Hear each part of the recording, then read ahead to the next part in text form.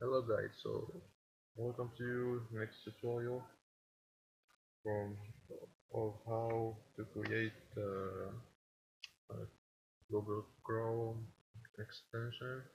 So what we're going to do now is we're going to create a new document. Mm, okay, this one. And we're going to put here JSON because we're going to need this type of file. We're going to name it manifest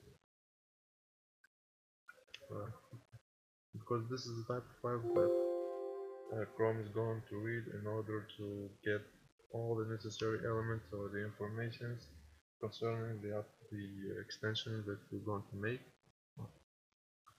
Okay, start with the name. We can take, for example, e calendar we have this mm, we have the version of the extension let's say for example zero. This uh, manifest version and we have let's say 2.0 Oh, and yeah. Here we have description.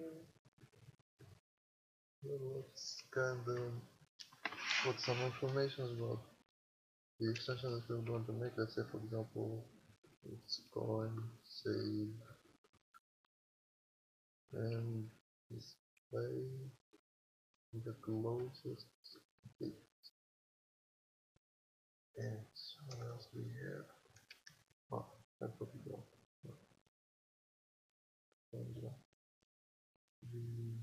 This one.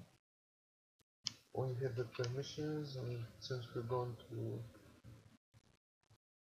since we're going to like uh, display some notification, it's going to be like this, like this one, call it like notifications. Oh, yeah.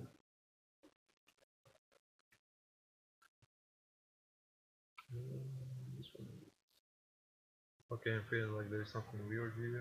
I think this one should be here. Okay, we make a browser action. Browser action. Oh, um, yeah, that's this one. Two points. Open this one. Okay, so default icon. I think you can understand what this little script means that you, you don't need like it's very clear I mean, you don't need an explanation but it's okay.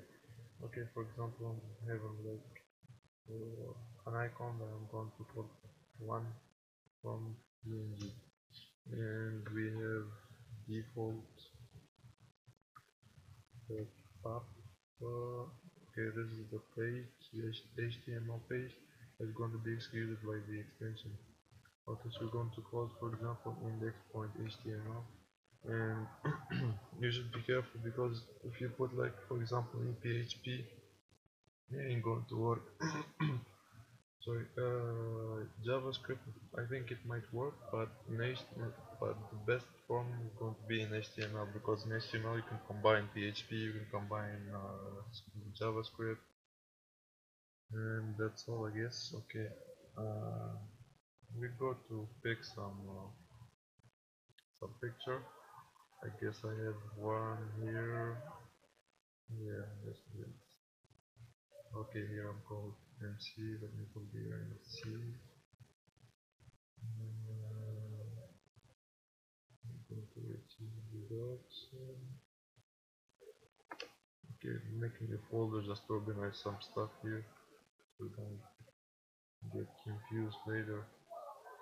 There's the images. And here we should add directory, okay. Yeah. images. And I guess Fuku. Okay, let's try. Um, a lot of.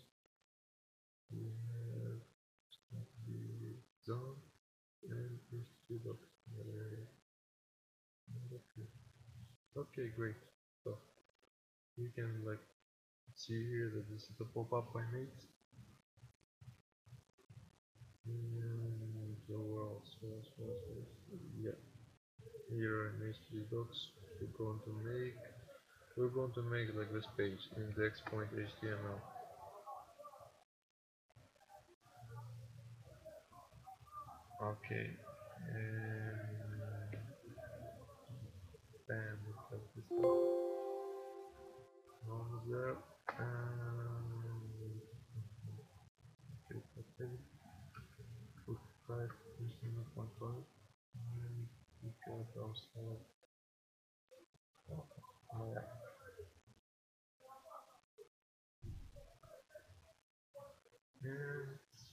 we're just going to check if everything is okay. Okay, let's say my extension here, just to make sure that everything is going cool. We go back here and this one should be okay, great. Okay, so what I've done here it's called Zen coding. If you're interested, I can like make video or I can show you now. I'll show you how to do this stuff at the end of the video like this is the corp this is the base the basic thing we've already got through it.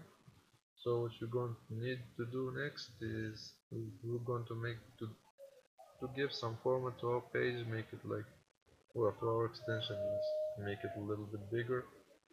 Like this like this. We're gonna add some buttons we're going to add some pop-up no not pop-ups we're going to add some inputs and uh, see you next tutorial but before I'm going to show you how to activate the Zen coding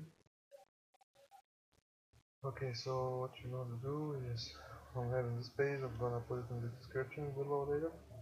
If you're using Sublime Text 3 you're going to copy all of this if you're using Sublime Text 2 you can use like this button here and you can copy for guess it's the same thing I guess I'm not sure.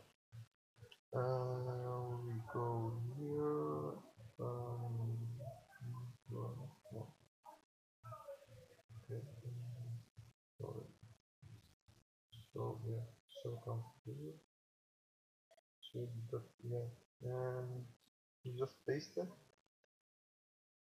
in there after you paste it, of course, you're gonna hit enter. I think it's going to require you a restart for uh, Sublime Text. Then you go to command and you type install and package control you.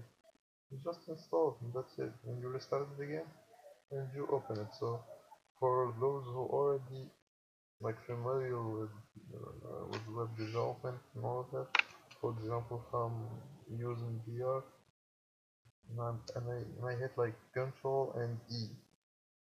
Controller and I got this stuff on me. Just some stuff to make it easier. So this is this is the second tutorial. Like next time as I told you we're going to put some inputs we're going to add some buttons we're going to make some good CSS and we'll see how things go from there. Thank you for watching. Don't forget to hit like subscribe if you got any question. And I can like I can help you with uh, with all of the things I know. And see you next tutorial